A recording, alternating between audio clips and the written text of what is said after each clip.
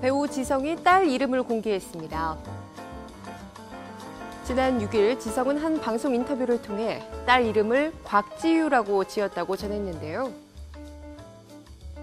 이어 정말 하늘이 주신 선물이다.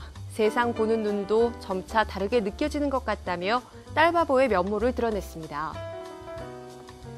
한편 2013년 배우 이보영과 결혼한 지성은 지난 6월 첫 딸을 품에 안았습니다.